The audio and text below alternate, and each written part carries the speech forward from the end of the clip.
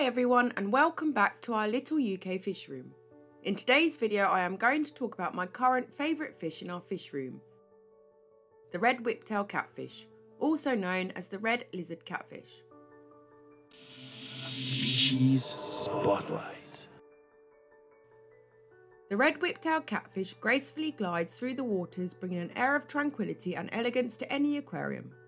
With their delicate appearance and vibrant red coloration, these rare and enchanting fish add a touch of allure to their surroundings.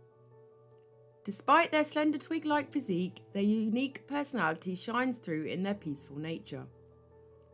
Creating a harmonious community for the red whiptail catfish involves providing ample space and companionship.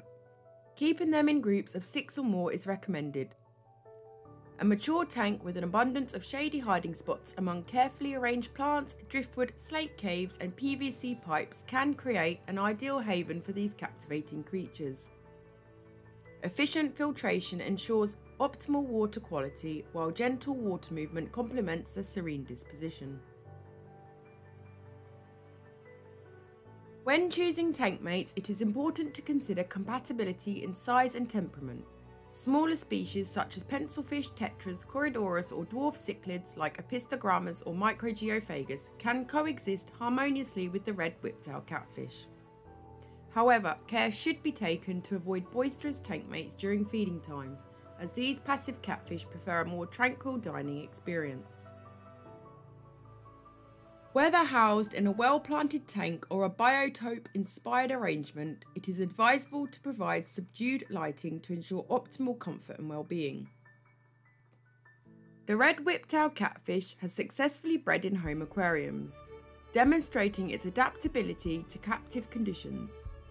Well-conditioned individuals are known to readily engage in breeding activities, especially following a cool partial water changes. During the spawning process, the male assumes an active role, meticulously selecting and cleaning a suitable cave as the breeding site. If the female shows receptiveness, she will deposit approximately 50 eggs within the cave, which are instantly fertilised by the vigilant male. Subsequently, the female ceases her involvement in brood care, leaving the male to diligently guard and tend to the eggs. The eggs themselves are an unusual greenish gold hue and are expected to hatch within 6 to 8 days. Shortly after that, around 2 to 3 days post hatching, the fry will become free swimming, embarking on their independent journey. Providing suitable nourishment for the developing fry is crucial, and options such as baby brine shrimp, crushed tablet foods, and soft slices of vegetables can be offered to sustain their growth and vitality. Maintaining optimal water quality throughout this delicate stage is imperative, as the fry exhibit heightened sensitivity to any deterioration in their aquatic environment. Therefore, vigilance in water maintenance is key to ensuring their successful development. Distinguishing between male and female red whiptail catfish is relatively straightforward. However, mature males exhibit a distinctive feature in the form of short odontodes, which are present on both the head and pectoral fins. This characteristic serves as a reliable visual cue for discerning the gender of these catfish.